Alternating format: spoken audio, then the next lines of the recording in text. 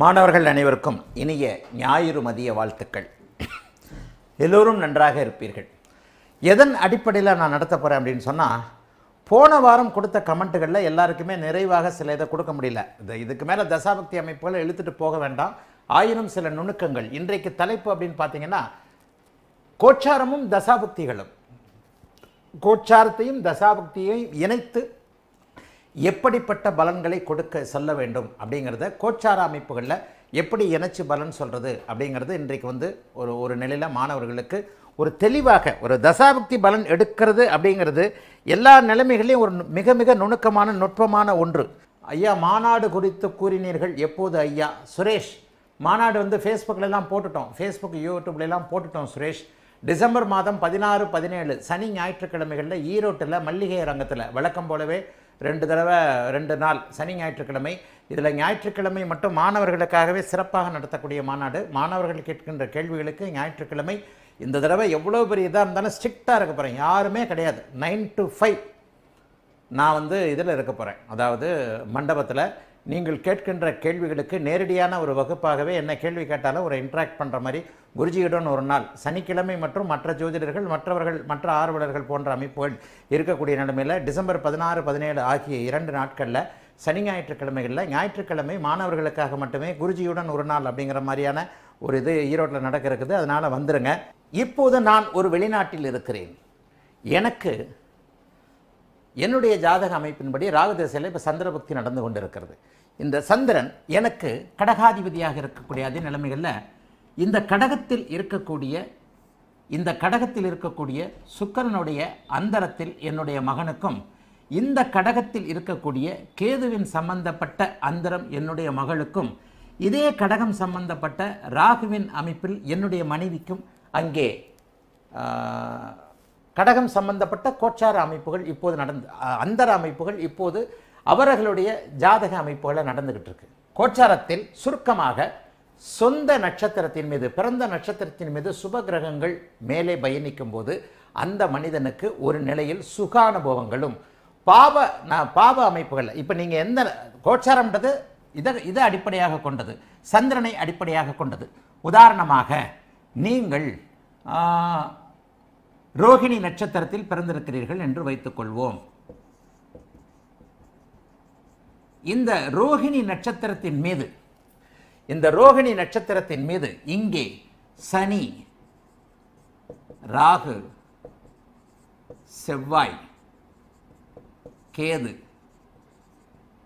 ஒரு நிபந்தனைக்குட்பட்டு சூரியன் இந்த ஐந்து கிரகங்களும் பயணம் செய்யும்போது இதில் உங்களுடைய தசாபக்திகளுக்கேற்ப இந்த தசாபக்திகளின் நன்மைகளை குறைக்கின்ற தன்மைகள் அங்கே ஏற்படும்.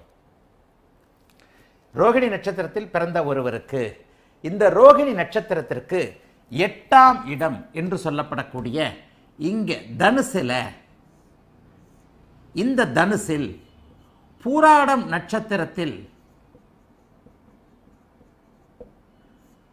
மூலம் நட்சத்திரம் இரண்டாம் பாதத்தில் ஆரம்பித்து பூராடம் நட்சத்திரம் இரண்டாம் பாதத்தில். இந்த இடத்துல இதே பாவர்கள் பயணிக்கும் பொழுது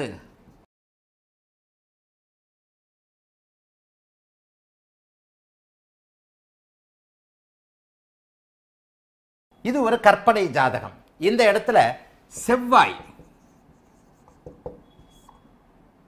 பரணி நட்சத்திரத்தில் இருக்கிறார்னு வச்சுக்குவோம். இந்த செவ்வாய் கடுமையான பாவத்துவத்தில் இருக்கிறார். செவ்வாய் சனி சூரியன் ராகு போன்ற அமைப்புகளோடு குருவின் தொடர்புகளே இல்லாமல் யோக நட்சத்திரத்தில் ஒரு அமர்ந்திருக்கிறார் என்கின்ற காரணத்தின் அடிப்படையில் மட்டும் இந்த பரணி நட்சத்திர பலன்கள் நடந்துடவே நடந்துறார்.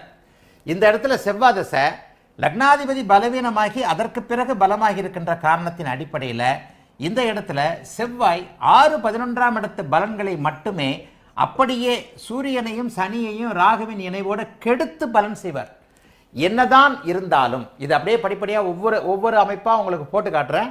நல்லா புரிஞ்சுக்கங்க. அன்பு மாணவர்களே எந்த ஒரு லைவ்லையும் இந்த நட்சத்திரத்தின் அடிப்படையில் சாரத்தின் அடிப்படையில் கிரகம் இந்த பலன்களை செய்யுது அப்படிங்கிற ஒரு பலனை நான் எந்த காலத்துலேயும் நான் சொன்னதே இல்லை. அப்படி பலன்கள் நடக்கிறதே இல்லைன்றது தெல்ல தெளிவாக பல நூறு ஜாதகங்களில் பல ஆயிரம் ஜாதகங்களில் ஆய்வு செய்ததற்கு அப்புறம் தான் இந்த கருத்தை மறுக்கிற இந்த தசாபக்தி அமைப்புகளில் உங்களுக்கு உண்மையாக இது உங்களுக்கு தெரிஞ்சாகணும். இந்த இடத்துல சனி ஜன்ம நட்சத்திரத்தின் மீது போகும்போது அட்டம நட்சத்திரத்தின் மீது போகும்போது ஒரு நிலையில் கெடுதல்களை கொடுக்கக்கூடிய இந்த சனி தசாபக்திகளில் ஆதிபத்திய காரக அமைப்புகளின் அடிப்படையில் தான் பலன் தருகிறார். உயர்கணித சார முறை என்கின்ற அந்த கேபி சிஸ்டம் என்பது முற்றிலும் அப்படியே வந்து முழுமையானது அல்ல. அவர்கள் நட்சத்திர சாரத்தின் அடிப்படையில் மட்டும்தான் பலன்கள் நடப்பதாக நம்புகிறார்கள். ஆனால் அது அவர் காலத்திலும் உறுதிப்படுத்தப்படவில்லை. இப்பொழுது இருக்கின்ற அவருடைய பின்பற்றாளர்களாலும் உறுதிப்படுத்த முடியலை. எப்போ வந்து ஒன்று வந்து உறுதிப்படுத்த முடியாத ஒன்றாக இருக்கிறதோ அப்போ அது ஃபேமஸ் ஆகாது. அப்படிலாம் கேபி சிஸ்டத்தில் பெரிய ஃபேமஸாக கேபி சிஸ்டத்தில் துல்லியமான பலன்களை சொல்ல முடியும். அப்படிங்கிற அமைப்பு இல்லாதனால தான் அது இன்னும் பெரிய அளவில் பிரபலமாகாமல் இருக்குது அதாவது கணிப்பதற்கு ஈஸியாக இருக்கிறது என்பதற்காகத்தான் உயர்கணித சாரமோ ஜோதிட முறையில் அப்படி இப்படின்னு சொல்கிறீங்க ஆனால் பலன்கள் உண்மையாக நம்முடைய சுபத்துவ பாபத்துவ கிரக ஆதிபத்திய அமைப்புகளுக்கு உள்ளே தான் அங்கே கண்டிப்பாக இருக்கிறதே தவிர சாஃப்ட்வேர் உபயோகப்படுத்துறதுக்கு சாஃப்ட்வேரை எளிமையாக சொல்றதுக்கு வேண்டுமானால் இந்த சார முறைகள் பயன்படலாம் தவிர உண்மையான பலன்கள் அடைவதற்கு இல்லை. இங்கே ஒரு நிலையை சொல்லிட்டேன். இந்த இடத்துல இந்த லக்னத்திற்கு யோகர் சுக்கிரன். அவர் இங்கே வலிமையாக இருக்கிறார். இந்த செவ்வாயின் தசை பரணி நட்சத்திரத்தில் அமர்ந்திருந்தாலும் கூட இந்த இடத்துல அஸ்வினி பரணி கிருத்திகை இந்த மூன்று நட்சத்திரங்கள் இருக்கின்றன. எந்த நட்சத்திரத்தில் அமர்ந்திருந்தாலும் இந்த செவ்வாய் சனியின் இணைவு சுக்கிரனின் அஸ்தமனம் ராகுவின் தொடர்பாக இருக்கிறதுனால இந்த செவ்வாய் தசை ஆறு பதினொன்றாம் இடத்தின் பலன்களை இவருடைய அண்ணன் தம்பி சகோதர அமைப்புகள் அத்தனையும் ஆதிபத்திய காரக ரீதியாக கெடுத்து லாபத்தை கெடுத்து லாபம் கெடுத்து சகோதர கெடுத்து பங்குச்சந்தை பங்காளி சண்டை சிகப்பு நிற கட்டிடங்கள் வம்பு வழக்கு அசிங்கம் கேவலம் என அத்தனையையும் இந்த செவ்வாய் கண்டிப்பாக செய்யும். இது இங்கே சாரத்தின் அடிப்படையில் அல்ல அதனுடைய ஆதிபத்திய காரகத்துவத்தின் அடிப்படையில். எந்த ஒரு இடத்திலும்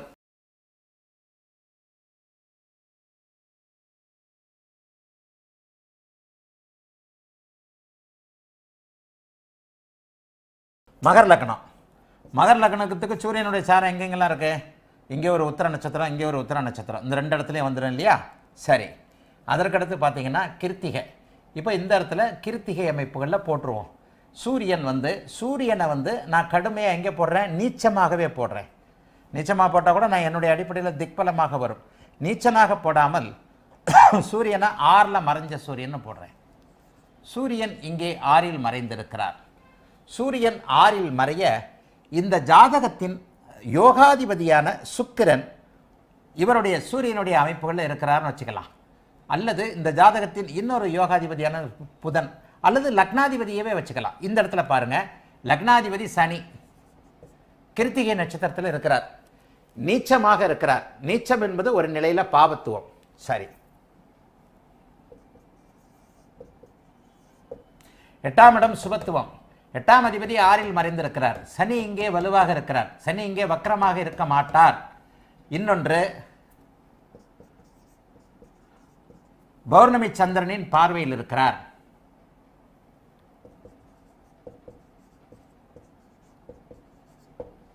இந்த அமைப்புகளில் பார்த்தீங்கன்னா அட்டமாதிபதியுடைய சாரத்தை வாங்கிய சனி நீச்ச சனி இந்த இடத்துல நல்ல யோக பலன்களை செய்வார். சனி அட்டமாதிபதி சாரம்.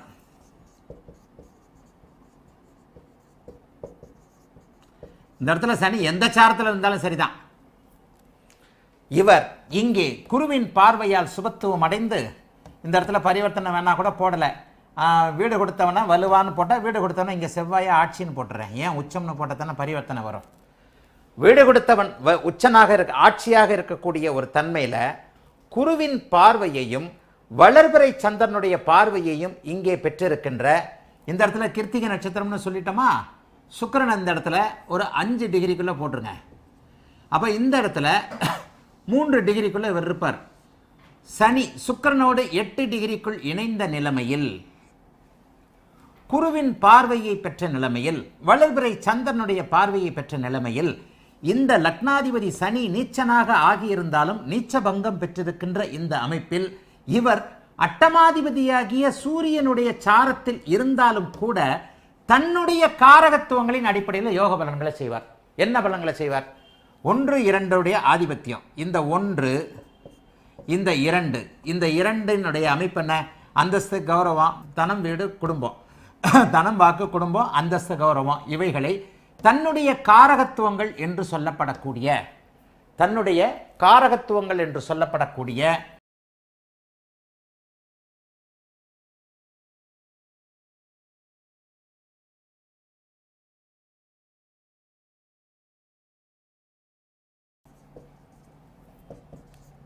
இது இந்த அமைப்புகளை பார்த்துருவோம். இப்போ சூரியன் புதன் சுக்கிரன் இங்கே இருக்கிறாரா?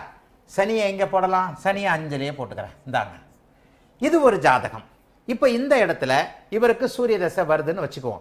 இந்த சூரிய தசை சந்திரனுடைய இயக்கத்திற்கேற்ற ஏ- ஏற்ப வரும். புனர்புசம் சூரிய தசை வர்ற மாதிரி சந்திரனை போட்டுருவோம். சந்திரனை இருள் சந்திரனாகவே போட்டுடுறேன் கீழே போட்டுடுறேன் பூச நட்சத்திரத்தில் இருக்கிறார். பதினஞ்சு வயசு வரைக்கும் சனி தசை.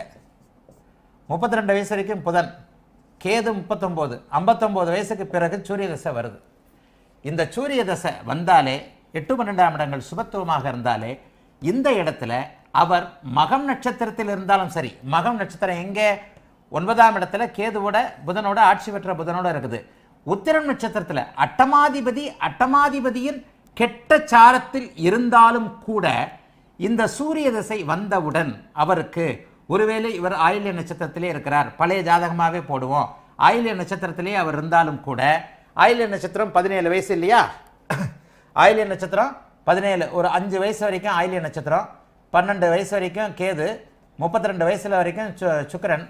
முப்பத்தி ரெண்டு வயசுக்கு பிறகு சூரிய தசை வந்தால் இந்த ஜாதகர் எட்டு பன்னிரெண்டாம் இடங்க சுபத்துவத்தின் விடுதியின் அடிப்படையில் வெளி வெளிநாடு வெளிமாநிலம் போன்ற இடங்களில் இந்த சூரிய தசையில் நல்ல விதமாக பிழைப்பார். அரசு உத்தியோகம் கிடைக்கும்.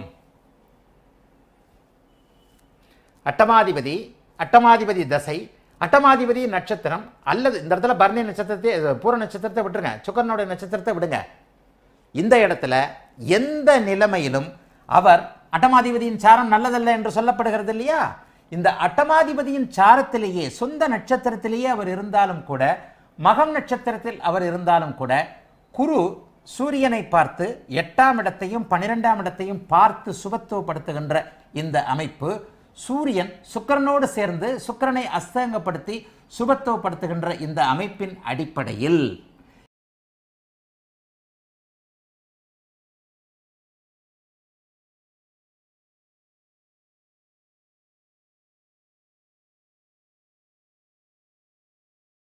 இது என்னுடைய நண்பருடைய ஜாதகம். இந்த ஜாதகத்தில் எத்தனை? நாலு அஞ்சு ஆறு ஏழு எட்டு ஒம்பது இது என்னுடைய நண்பருடைய ஜாதகம். இந்த நண்பருடைய ஜாதகத்தை பார்த்த ஒரு ஜோதிடர் சரியான பீடை ஜாதகம் இளம் வயதில் பார்த்த ஜாதகம். இளம் வயதில் இவருக்கு இவருக்கு பிறக்கும்போது செவ்வாதசை அஞ்சு வருஷம் ஏழு மாதம் சம்திங் இருபத்தி மூன்று வயது வரைக்கும் ராகுதசை. இருபத்தி மூன்று வயது வரைக்கும் ராகுதசை நடந்தபோது ஆறாம் இடத்து பலன்களை குருவின் பலன்களை அப்படியே செய்தார் ராகு. இந்த ஆறாம் இடத்துல ராகு இருக்கும்போது கடனே இருக்காது அப்படின்றத சொல்லியிருக்கிறேன்னா கடன் வாங்கினா திரும்ப கொடுக்க தேவையில்லை. நோய் இல்லாத கடன் இல்லாத ஒரு அமைப்புகள்னு அடிக்கடி வீடியோவில் பேசுகிறேன்னா ஆறாம் இடத்தில் பாவர்கள் தனித்திருந்தால் இது என்னுடைய கோடீஸ்வர நண்பர். இவருக்கு ராகதசை நடக்கும்போது இருபத்தி மூன்று வயது வரைக்கும் மிக சாதாரண வாழ்க்கையை கொடுத்தார். மிக மிக சாதாரண வாழ்க்கை. ராகதசை செவ்வாய் புக்தியில் ஒரு திருப்பம் ஏற்பட்டது. இந்த கோடீஸ்வர நண்பருடைய பதின் பருவ பன்னிரெண்டு வயதிலிருந்து நான் இவருடைய நண்பர். ராகதசை செவ்வாய் பக்தியில் அந்த திருப்பம் ஏற்பட்ட போது கூட அந்த திருப்பம் உங்களுக்கு மிகவும் நல்லது. குருதசையிலிருந்து நீங்கள் நீ மிகப்பெரிய யோகாரனா நீ ஆக போகிற இதே வார்த்தையை இதே சென்னை நகரின் ஒரு பொதுவான இடத்துல இருக்கும்போது இதை நான் சொல்கிறேன் கவலைப்படாத. இன்றைக்கு டூ வீலர் வைத்திருக்கின்ற நீ இந்த குருதசை சுயபுக்தியில் முதலில் வாகனம் வாங்க போகிற ஃபோர் வீலர் வாங்கினார். வாங்கினார். சரி இந்த ராகதசை முழுக்க முழுக்க இருபத்தி மூன்று வயது வரைக்கும் அவருக்கு மிகப்பெரிய கஷ்டங்களை கொடுத்தது. இளம் வயதில் அவரை படிக்க விடாமல் செஞ்சது. கிட்டத்தட்ட பள்ளி இறுதி வகுப்பை கூட அவரால் முடிக்க முடியல. தொழிலுக்கு வந்தார். தொழில் எண்ணங்கள் எல்லாம் இந்த குருதசை ஆறாம் இடத்தின் பலன்களைப் போலவே இருக்கும் என்று சொல்லப்பட்டது அவருக்கு. குருதசை ஒன்றையும் செய்யாது. குரு தசையில் சும்மா ஒரு சாதாரண ஆளாக இருப்பீங்க. இந்த சனி திசை கிட்டத்தட்ட முப்பத்தொம்போது வயசில் சனி திசை ஆரம்பிச்சிருச்சு. இந்த முப்பத்தொம்போது வயசில் சனி திசை ஆரம் ஆரம்பிக்கும் போது இந்த சனி திசையை பற்றி நான் இவருடைய முப்பது வயசுலேயே சொல்லிட்டேன். சனி திசையில் திரவத் தொழிலில் கொடிகட்டி பறக்கின்ற ஒரு அமைப்பாக இருக்கும். அந்த குருதசையிலே அந்த திரவ தொழில் அவருக்கு அறிமுகமாயிடுச்சு அவருடைய அப்பா மூலமாக சனி திசையை பற்றி நான் குருதசையிலேயே அவர் நூற்றுக்கணக்கான கொடிகளை சம்பாதித்தார். சனி தசையில் ஆயிரக்கணக்கான கோடிகளை சம்பாதிக்க போகிறார். சனி தசையில் ஒரு ஜோதிடர். சனி தசை ஆரம்பிக்கட்டும். உன்னிடம் பத்து ரூபாய் கடன் கேட்டு இவர் வருவார்னு என்கிட்ட சொன்னார். நான் அப்படியே சிரித்தேன் எனக்கு தெரிஞ்ச ஜோசியர் தான். அவருக்கும் தெரிஞ்ச ஜோசியர் தான். பீடை ஜாதகம். சனி நீச்சம். எவ்வளவு சம்பாரிச்சா என்ன? சனி திசையில் எல்லாம் போயிட போகுது. அவர் எதிரிலே சொன்னார். சனி திசையில் ரோட்டுக்கு வந்துடுவியா நீ? சனி திசையில் ரோட்டுக்கு வந்து விடுவாய். என்ன? அஸ்வினி சாரத்தில் விரயத்தில் இருக்கக்கூடிய கேதுவின் சாரத்தில் இருக்கிறதே. அப்போ கூட நான் சாரத்தை கேட்குறேன். அந்த பிரபல ஜோதிடர்கிட்ட ஐயா சந்திரனும் புதனும் பரிவர்த்தனையாகி பத்தாம் இடத்து பலன்களை செய்யாதா? யார் யா நீ? அவசரம் கொடுக்க. ஐயா குருவின் பார்வை சுபத்துவமாக இருக்கிறது. அந்த காலத்திலே சுபத்துவம்ன்ற வார்த்தையை சொல்லுவேன். யாரா நீ அதிக பிரசங்கி? இந்த மாதிரி அறவரை பசங்கள்லாம் ஏன் யா கூட்டின்னு வரேன்னு என்னை காட்டார்? வெளியே வந்தவன சொன்னேன். சனி தசையில் நீ ஆயிரக்கணக்கான கோடிகளை இதே அதாவது அப்போது அவர் அந்த தொழிலில் இல்லை இந்த தொழிலில் திரவ தொழிலில் நீ சம்பாதிப்பேன்னு சொன்னேன். அதற்கு ஆதாரமாக அந்த திரவ தொழில் சிறிதாக ஒரு சிறிய கடை வைக்கப்பட்டிருந்தது. இந்த தொழிலை நீ டெவலப் பண்ணி சொல்லுவே செய்வேன்னு சொன்னேன். அதே தொழிலில் இன்றைக்கு தமிழ்நாட்டில் நம்பர் ஒன்னாக இருக்கிறார். ஆயிரக்கணக்கான கோடிகளை சம்பாதித்துக் கொண்டிருக்கிறார். இங்கே எங்கே சார அமைப்புகள் வந்தன?